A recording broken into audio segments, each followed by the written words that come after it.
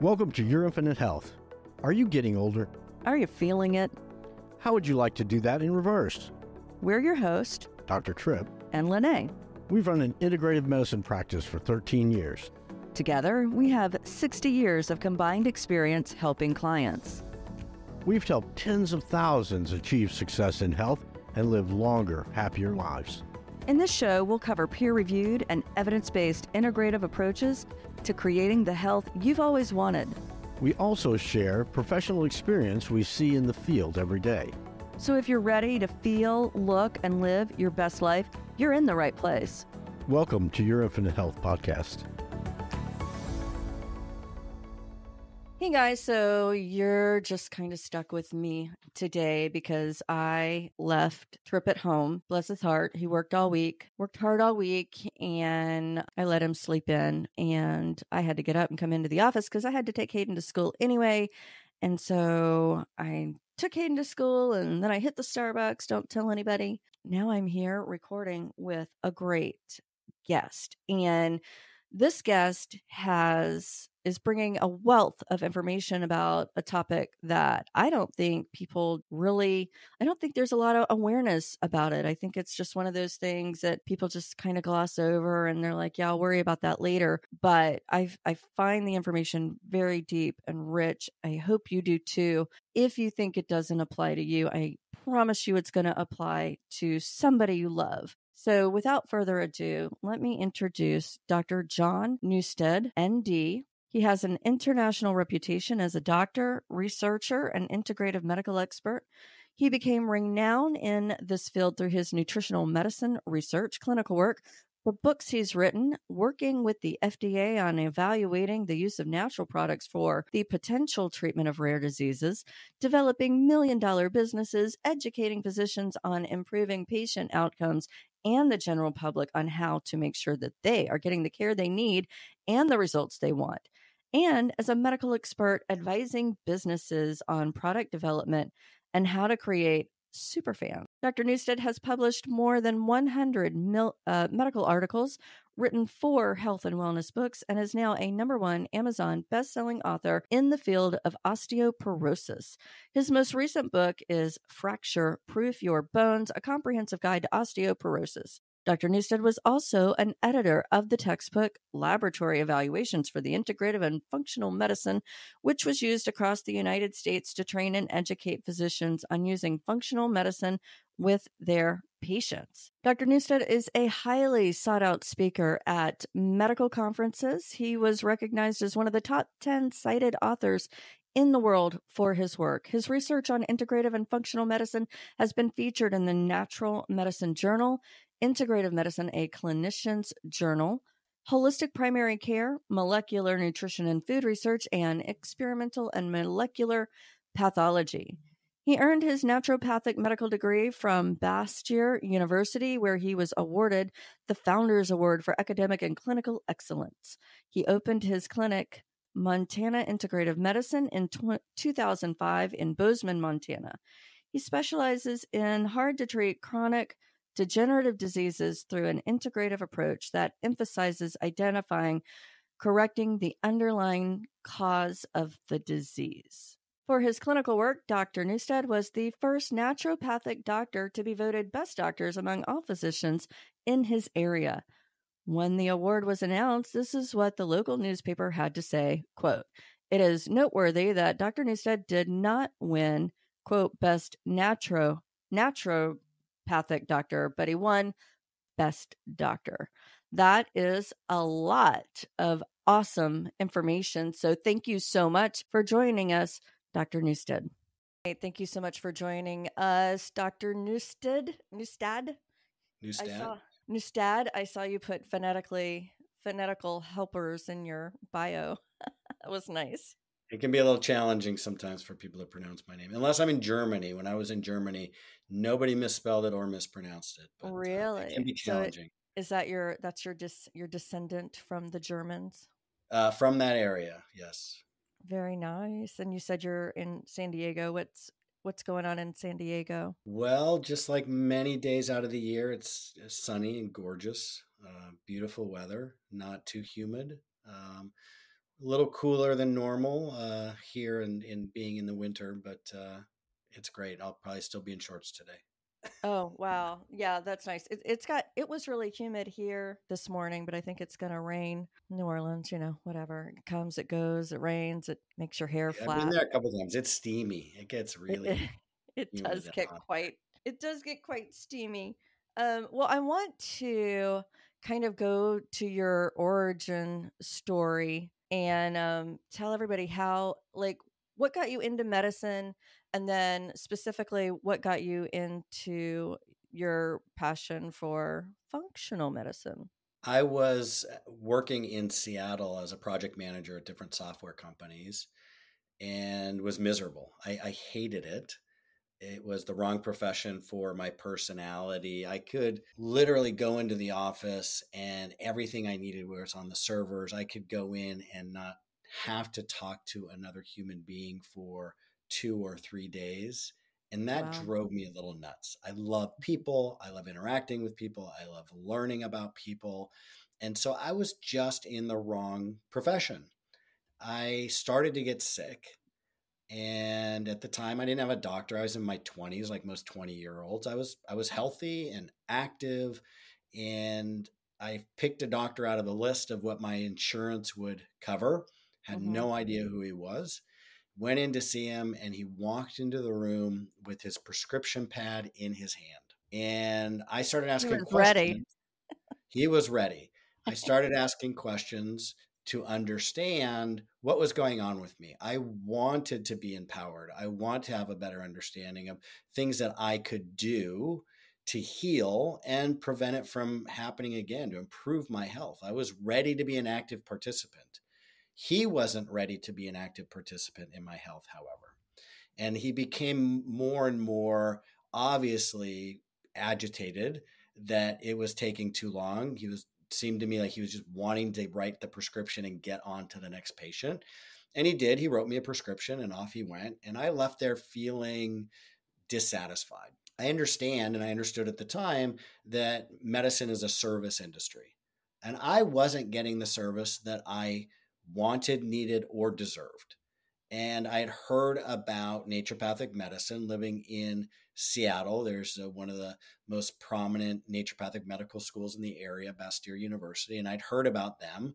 Their teaching clinic was just down the street. So I thought, let me see what these folks have to say. What do they have to offer? I went in. The clinician, the supervising clinician, uh, was still uh, was and is still the chief medical officer there. And two students saw me. Forty-five minute appointment. None of my questions were uh, were minimized. They took time with me. They answered my questions. They helped me understand what I could do uh, for my own health. They weren't uh, wanting to write a prescription. They knew there were other ways to handle this. And one of the philosophical beliefs of naturopathic medicine is to treat the underlying cause. The chief medical officer, Dr. Jamie Wallace, the supervisor, got to know me so well within that appointment that at the very end, he looked at me and he said, You need to quit your job. oh He understood that the stress from that profession and me really not wanting to be doing it, but I had golden handcuffs at the time, was creating my illness. And it was stress induced primarily.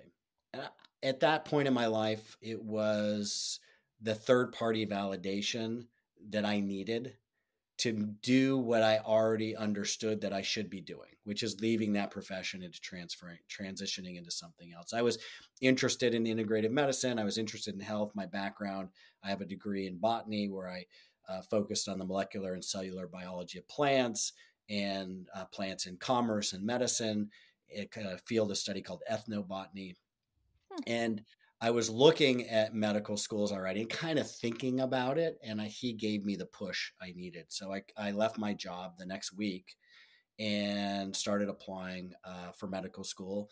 Looked at different programs, decided that naturopathic medical school was the best fit for me because while some schools like DO programs have some nutritional components to their their curriculum, I also, with a background in botany, wanted the botanical medicine component. I wanted the holistic medicine, the functional medicine component from the beginning. And so that's how I transitioned and went back to school in my late 20s, early 30s to uh, medical school. And then when I got out, I started my practice in Montana. We were there for six years. Oh, nice. uh, and it, yeah, and, and I never saw myself focusing on bone health and osteoporosis. But patients started coming to me with this problem. And my mother in law has osteoporosis. She was taking Fosamax. She was doing some of the things that I'd recommended in terms of lifestyle and, and diet. And I was working with my patients and helping them. And their bone density test results were going up. My mother in law's bone density tests were going up and improving. And then she tripped and fell and broke her hip. Oh and I thought something's wrong with this picture. What is going on? Because by that objective measure of the bone density test, she should have been protected. It wasn't even a hard fall. And what I discovered, I started looking into the research, is that that focus, almost exclusive focus in conventional medicine on just changing that number on the test, is woefully inadequate. We've known since the 1990s, it's been in the research that a bone density test predicts less than half of people who will break a bone. And really? now we understand that for women with osteoporosis, it only predicts 44% of them who will fracture and only 21% of men. Fracture risk, in fact, depends on factors largely other than bone density. And yet, that is almost exclusively what is being discussed with patients by clinicians. And I just kept going further and further and further into the research and trying to figure out how I can help people. 17, 18 years later, here I am, an expert in osteoporosis with my book out, lecturing at medical conferences to help teach clinicians how to move the needle on this very dangerous and uh, disease that is becoming more and more common as the population ages. And so I really appreciate this opportunity to share what I've, I've, I've learned to hopefully help your listeners as well. Yeah, I think the listeners will um, really value um, what you're bringing to their awareness today. So, tell me more about. So, how do you treat somebody naturally for bone health? Is that a lifestyle focused um, methodology?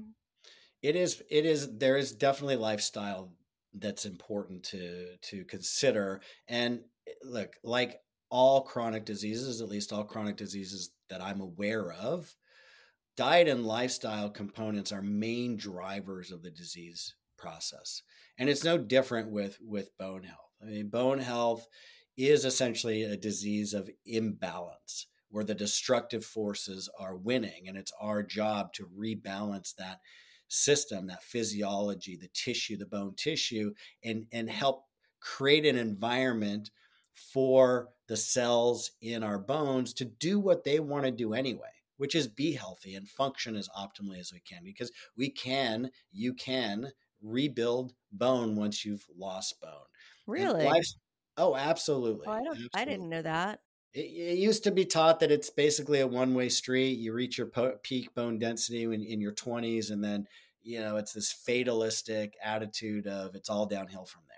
Right. And that's just not accurate. It, it's not true and it really is a depressing thought when I think about it. If that's the attitude that that patients are being confronted with by their their clinicians, because it doesn't the body doesn't actually work that way, and the research is clear. We can reverse this absolutely using integrative and natural approaches. It's well documented in, in the research. So, what does that look like for you when somebody comes to see you and they're uh, they need to recover bone loss. Like your was it your mother in law? Did you say? Mm-hmm. Mm-hmm. She's ninety three now.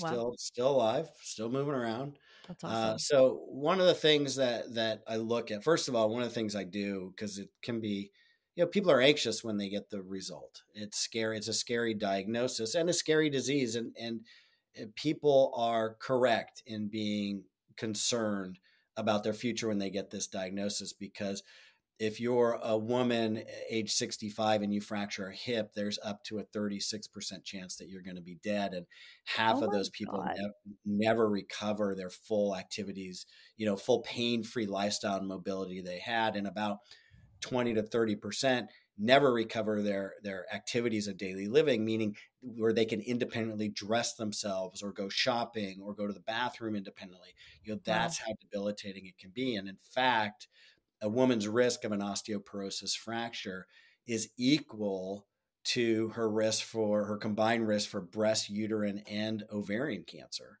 wow uh, and every 30 seconds somewhere someone is breaking a bone due to osteo uh, I don't think anybody, you know, you really don't hear about that issue. I don't think that's in prominent awareness. And if those those statistics, that's crazy.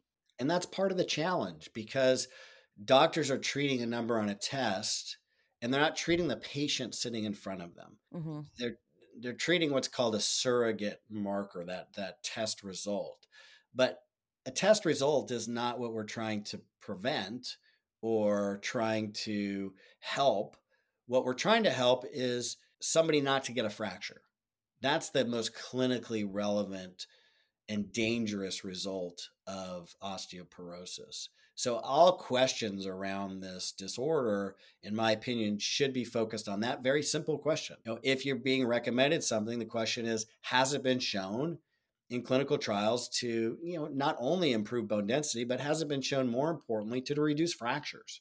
Or if you're getting a test the question is you know how predictive how well does this test predict my fractures risk for fractures so when it comes to this you know more integrative and holistic approach you know first i like to put the test result in its proper context and tell people like take a deep breath this is serious, but it's not an emergency.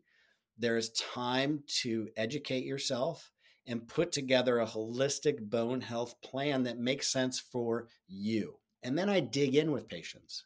I dig in with people and I say, okay, the first thing we want to do in trying to heal is let's see if there are things in your life that are damaging bone, that are creating the problem that we can minimize or totally get rid of one of the most obvious categories of that, one of the biggest and most common problems people are having is with medications.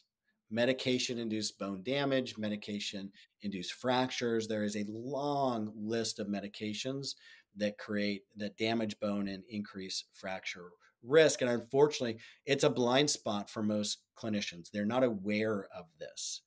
And so it's imperative that people educate themselves. And that's why there's a whole chapter in my book on medication induced osteoporosis. It's called, you know, check your medicine cabinet. And just to give you some examples, some of the most commonly prescribed medications, antidepressants, anything that artificially increases serotonin. So there's serotonin receptors in bone. And when that's artificially increased by these medications like you know Prozac and Lexapro, Wellbutrin, you know, those kind of medications that it increases the activity of a type of cell called osteoclasts. Osteoclasts break down and recycle old worn out bone. And then another type of cell called osteoblast build up, builds up new bone.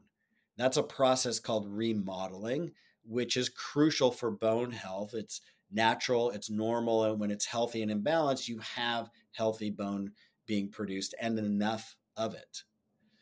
In in fact, bone turnover is such a natural process that and happening all the time that you know every 10 years you essentially have all new bone. Mm. It's all been remodeled every 10 years, turned over.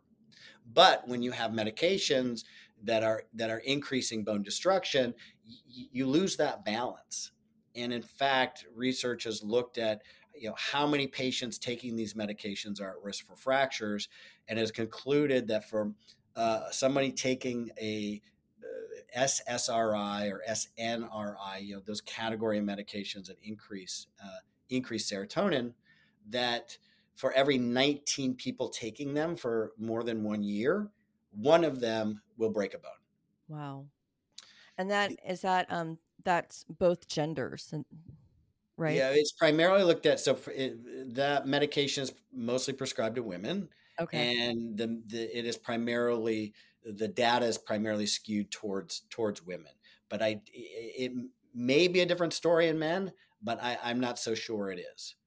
Well, uh, it seems like the majority of the population, at least on the road when I'm driving to work, is on something like that.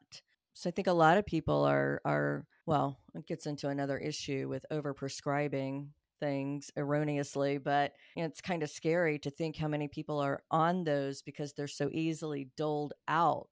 Yes. And um, they probably are not aware of the risk to the bone.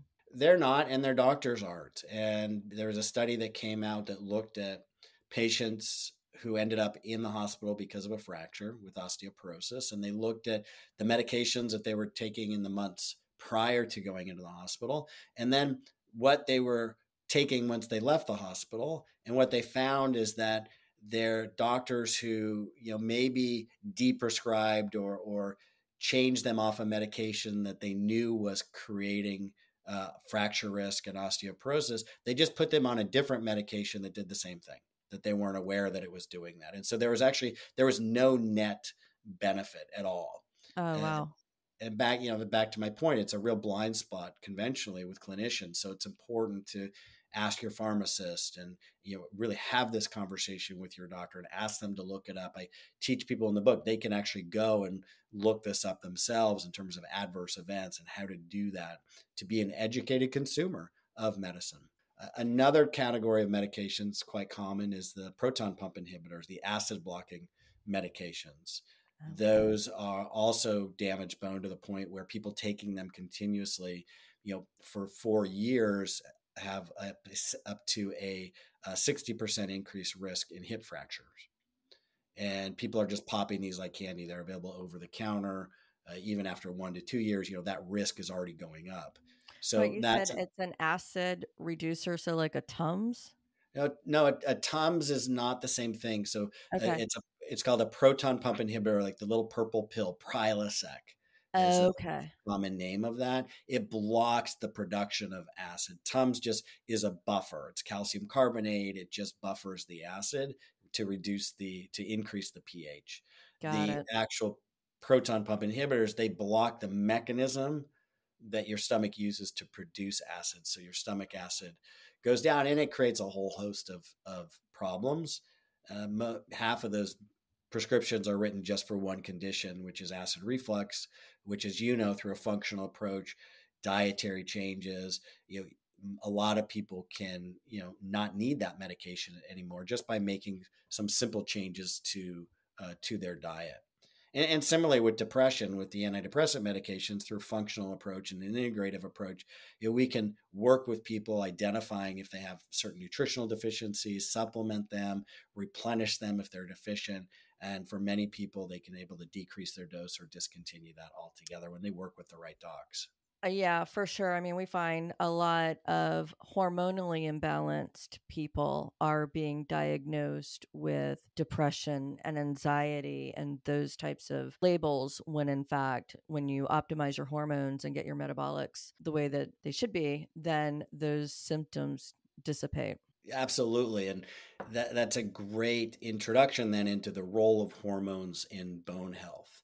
Mm. And you know, serotonin is a hormone um, and as I just mentioned with the medication, when you artificially increase it, uh, there are serotonin receptors in bone, uh, not just in the brain. In fact, most of the serotonin is not even in the brain. About 90% is produced in the gut and it not even doesn't even enter the brain. And it can impact then bone health. There are other hormones that can affect mood as well that when they drop, like testosterone or estrogen, not only do they impact mood, but they impact bone as well. In fact, when a woman goes through menopause and for the 10 years after her estrogen is dropped, that's the fastest rate of bone loss that she'll have in her lifetime. That's when we often see osteoporosis develop, although it can develop much younger as well. And so, replenishing estrogen replacement therapy, bioidentical hormone replacement therapy, can mm-hmm. be quite helpful the research is clear when it comes to hormone replacement therapy in women with osteoporosis that when you get that hormone back into the normal range, and I'm not talking about super, you know, high dose. I'm just, you know, hormones that's low, which is exactly what you're talking about, just getting it back into the normal, healthy range. That, well, optimal. I would say optimal because great, think, optimal even better. Yeah, Absolutely. Yeah, yeah, I think sometimes nor- normal is not you know, if you're looking at the bell curve of what most doctors are looking at, normal is not generally optimal for most people. So just clarification. Great point. Yeah, absolutely. Great point. When you get it back into that optimal range with hormone replacement therapy in women, it's associated with a 40% reduction in fracture risk for osteoporosis and hip fractures, which are the most dangerous type of fractures. Uh, it's been shown to have a 28% reduction in hip fracture risk. Uh, I did not know those statistics. That's really encouraging. Yeah, it's it's phenomenal. And there was you know studies that came out years ago about the dangers of of hormone replacement therapy that's been largely debunked yes there is a subset of a population where that can be a risk and people just need to be screened for that but it can be done very safely when you're working with the, the right doc Right. I well, and I will speak to that issue because we hear it a lot with um, misinformation being perpetuated by um, various physicians. Those studies were largely based on synthetics right. and not bioidentical. So yeah, it's it's interesting and unfortunate really that there's still misinformation being perpetuated about bioidentical hormones or hormone replacement. Well, the look, medical doctors and naturopathic doctors, DOs, we're all we're all taught you know the, the first principle of medicine is is you know first do no harm mm-hmm. and unfortunately the misrepresentation of science the suppression of certain studies the lack of access in conventional medical settings and the lack of training within conventional medical schools of nutritional medicine mm-hmm. that the science is so clear on uh, is incredibly helpful for many diseases not only to prevent uh, or reduce the severity of diseases, but but to reverse them and can actually cure people. That that's not being taught really violates that first principle of medicine of first do no harm. And so yeah. when I when I meet doctors like you, you, you know your husband and and you and clinics like yours who are are, are pioneers in this and working to in a functional uh, manner to to help you know, work with the body's biochemistry, with the body's physiology to, to reestablish balance, to improve patient care and improve outcomes, not just reflexively um, prescribing a pharmaceutical like the experience that my MD wanted to do many years ago. And in fact, 75% of all primary care visits involve a prescription medication. I mean, that is to me absurd and it's creating a lot of harm. Right. I, I agree. How does one fix their sleep? Sleep is a, an often overlooked component with bone health. And yeah, fact, you wouldn't necessarily connect the two. Right. And a lot of people don't. And, uh, but it is an important thing to look at, not just for bone health, but if you're not sleeping well, uh, if you have insomnia, it's also associated with increased risk of diabetes, increased risk of dementia, increased risk of cardiovascular disease and early death, high blood pressure. Uh, so it's, it's not a good situation, and osteoporosis. So what we do know with sleep is that there are generally you know two two phases of, of, of sleep. So that's people you know sleep phase what's called sleep phase delay um, or sleep phase advance and that is the question i like to ask patients is are you having difficulty falling asleep or staying asleep and mm. for me depending on the answer of that question the the approach might be a little different. So if somebody's having difficulty falling asleep, then it could be situational. It could be because of anxiety. It could be they just they need stress reduction. Uh, exercise has been shown to be very helpful at at improving sleep outcomes as well. It could be hormonal imbalances. Uh, it's very clear that you know maybe they're getting hot flashes because they, they, have low uh, estrogen. Uh, maybe they they are not sleeping well because they can't turn off their mind and and and that could also be not just situational but but also hormone imbalances which can create anxiety uh, as well.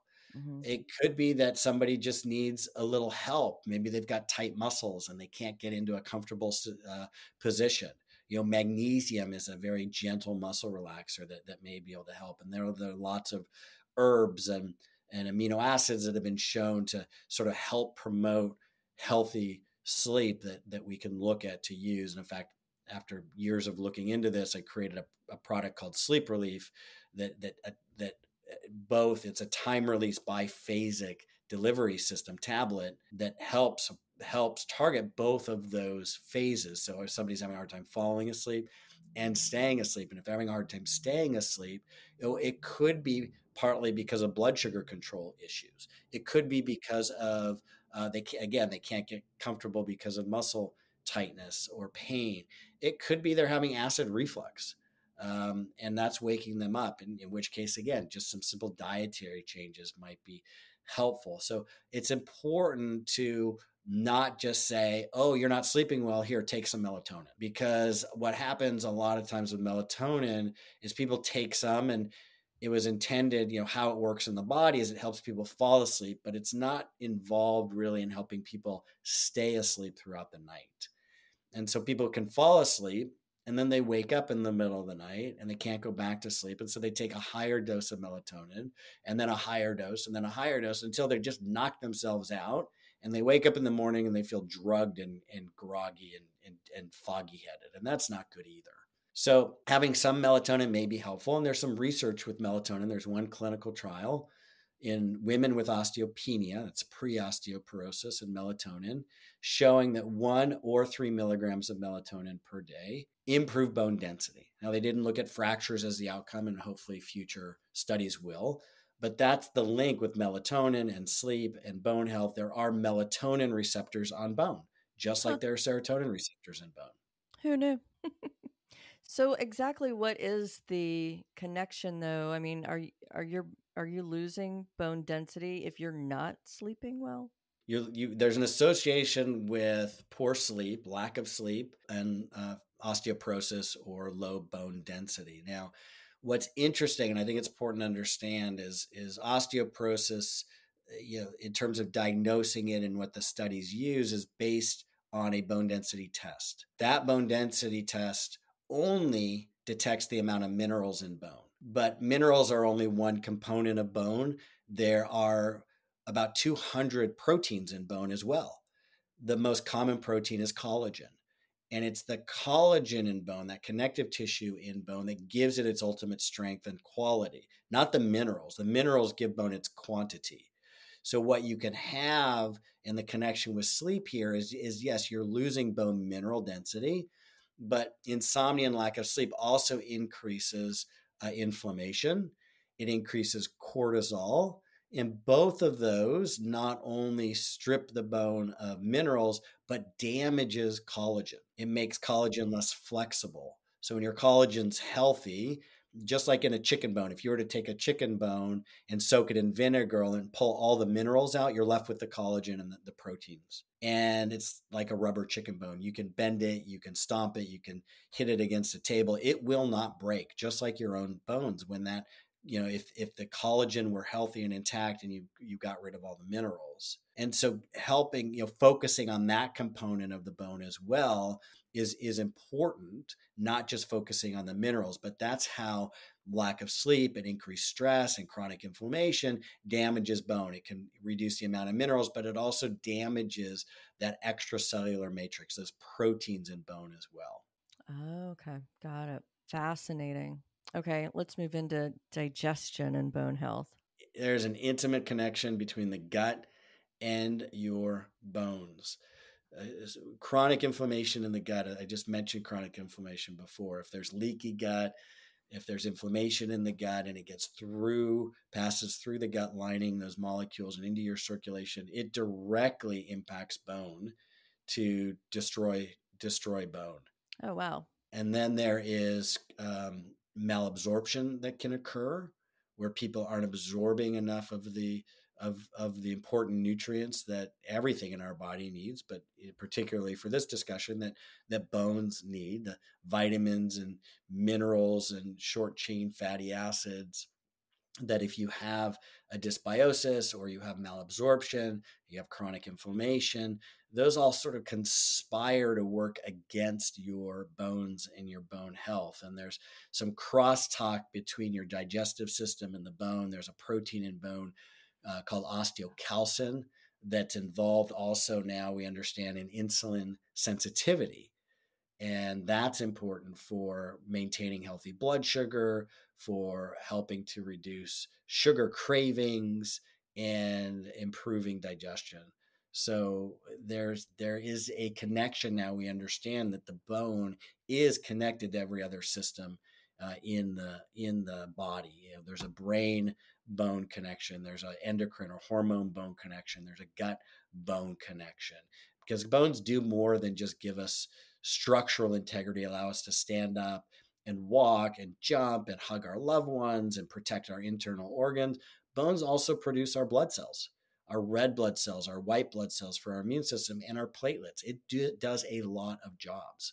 And so there's cross talk, connection between bone and every other system in the body.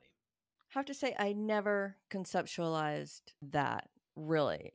I mean, I think not that I gave it much thought, but thinking that the skeletal system was just exactly that, just the structure that everything else was hanging on or whatever. Well, because I think that's what we've been taught. I mean, that that's that's traditionally how bones have been uh, discussed, and and and it's sort of this you know disconnect mm-hmm. where they they take the the different functions of of bone, you know, structural bone as structural elements in the body, bone as producing blood elements in the body and they separate that in terms of specialty medical specialty and education. So you've got hematology that deals with just the bone aspect the blood aspect of what the bone's doing.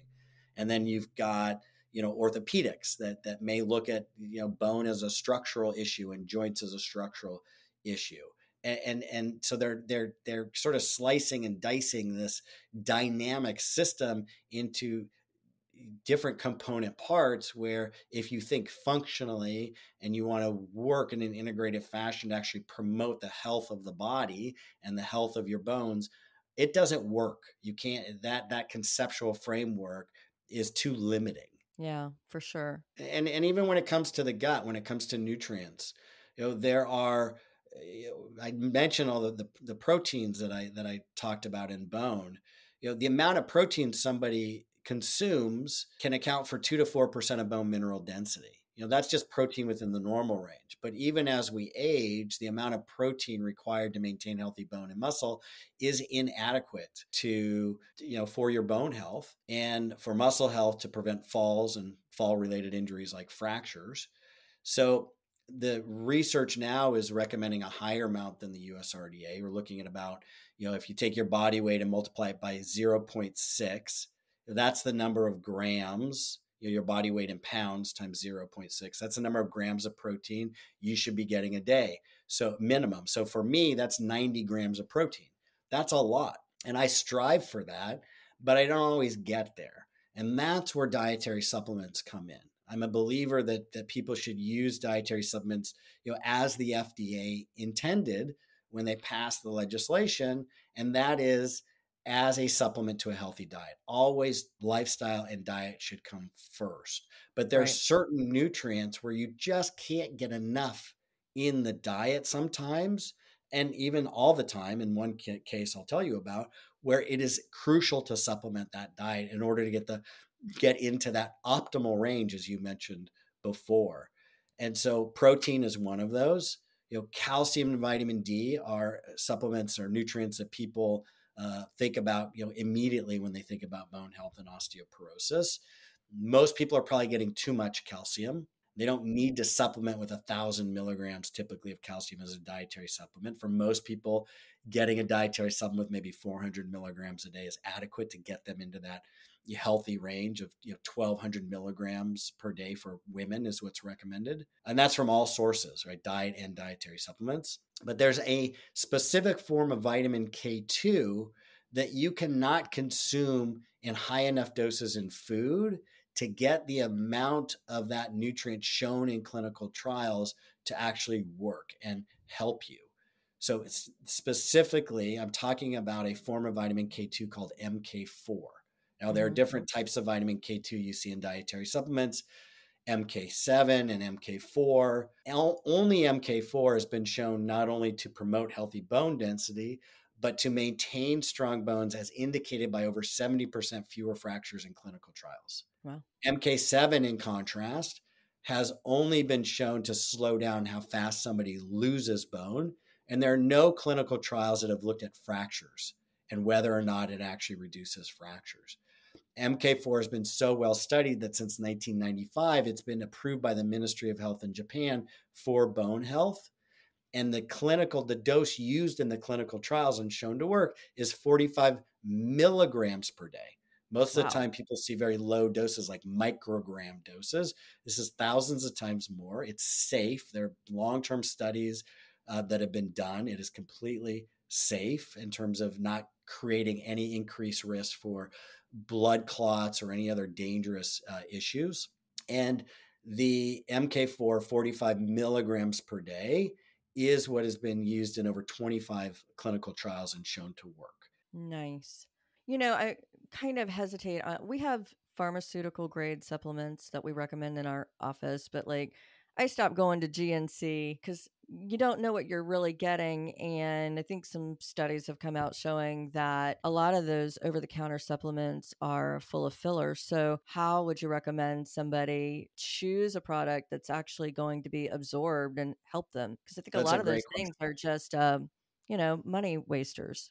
It's it's true. And how do you know you're getting your money's worth? That's really important. In fact, I wrote an article on my website about that because it's such a important issue that people should learn how to evaluate dietary supplements. And you know, you asked about you know my my origin story before, and I mentioned that I created a product called Sleep Relief. Well, I started a dietary supplement called NBI. it stands for Nutritional Biochemistry Incorporated, in 2006 out of my medical clinic because I couldn't find the dose and combination of nutrients shown in clinical trials to work in existing products that I needed for my patients. Mm-hmm. And it goes back to your question of how do you really know you're getting the quality? So, my OsteoK and OsteoK Minis uh, products, those are my bone support products that have the 45 milligrams of MK4 in it per day, plus calcium and vitamin D. Still the only products on the market with the clinical trial doses of those nutrients wow. that you look for citations. I tell people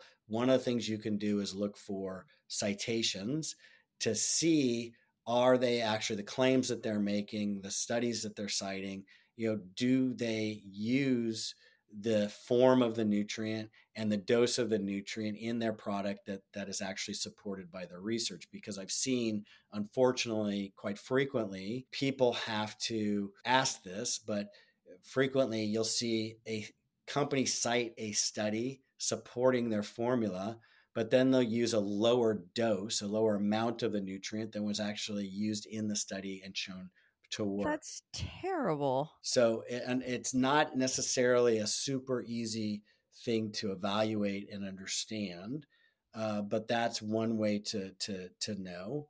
Another way, as you mentioned, to look at look at fillers. Uh, for example, I don't like formulating and manufacturing with fillers. If I have extra room in my my capsules, I like to add some additional nutrition. Hmm. So for my iron product, um, Ferrosol, that has it's the highest dose ferrous bisglycinate on the market, 45 milligrams per day, which doesn't cause any GI problems, no constipation or, or uh, you know, cramping, anything like that, no nausea. I had some extra room in the capsule and so I added a little bit more glycine to it because typically when people have iron deficiency, they also feel some, they also feel anxious. Those things tend to go hand in hand. Hmm. Uh, or you look and you see, is there titanium dioxide being used? So, titanium dioxide is a, a lubricant for the machinery, but it's not nutritive. So, instead, in my powders, my capsules, I'll use L-leucine, which is an amino acid that that our body uses for healthy things. It's used in small enough quantities and it's just considered other it's in the other ingredients section but what you don't see is the titanium dioxide in there the only product that i did have to sort of uh, use some some ingredients i i, I wouldn't necessarily normally is, is when i was looking at the tablets creating my biphasic time release sleep product because the only way to get that is to use some some of those fillers and, and binders that I needed for the tablet.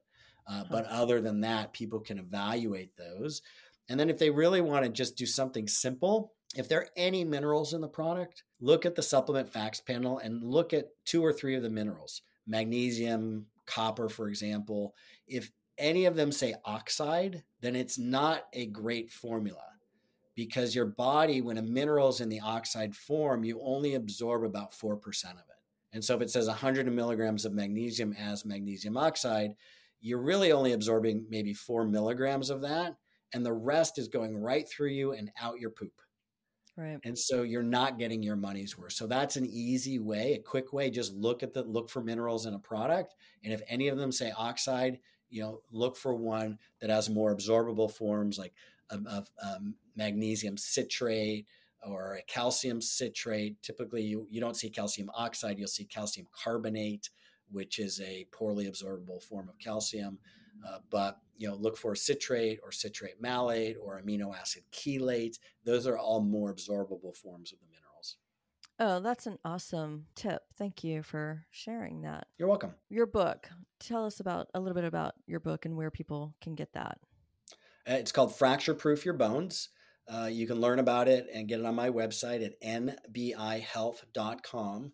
And as I mentioned earlier, it walks people through understanding this this holistic approach to bone health and what they can do in terms of how they can create it walks them through chapter by chapter how to create your own holistic program that makes sense for you and also there are lots of questions in there for you to ask your doctors mm. to make sure that you're getting the best advice and recommendations because it can be overwhelming to understand you know should i take a medication or not and it's important I give you questions to ask the doctors about the medication so you can understand is it really the best fit for you. That's then, so helpful, I think, because a lot of people just don't know. They don't know what they don't know, and they don't know how to ask those questions. So I think that's great. Thank you. Thank you. Uh, it's a labor of love, and uh, it's exciting for me to be able to, you know, I've taken this culmination of, of all these years of work and the questions I've been getting over the years, the patients I've worked with, and putting it in a format that allows me to help people beyond just one on one conversations. Mm-hmm. But this is, doctors are using this and actually giving it to their patients or recommending their patients is read this. This is what you need to do. This is what we're going to do. That's awesome. And then you said you had a comprehensive medication list in there as well. It's not, I wouldn't say it's comprehensive because we're always getting uh, new information. Uh, but there is a long list of medications uh, that are in the book. I'm actually I'm working on the second edition now, and we'll be expanding that list of medications as well as adding additional chapters and expanding information in chapters as we've discovered new new research is coming out. Cool. What is one thing you want the listener to know? I would just reemphasize that uh, if you are concerned about your bone health, if you get a bone density test result that shows you've lost bone, uh, to, to take a deep breath. It is a serious situation, but it's not an emergency.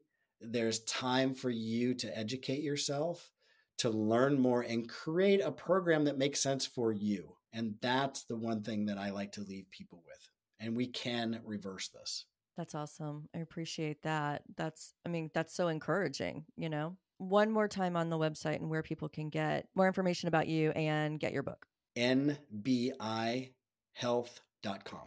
and listener i'll have that in the in the notes as well. Thank you so much for your time. I learned things i didn't know uh, and it was so helpful and encouraging to know that there are things that you can do to reverse maybe some of those bad habits that we've uh, you know adopted along our way. So thank you for the opportunity. All right listener i hope you found this informational educational somewhat entertaining and until next time Thanks for subscribing to Your Infinite Health.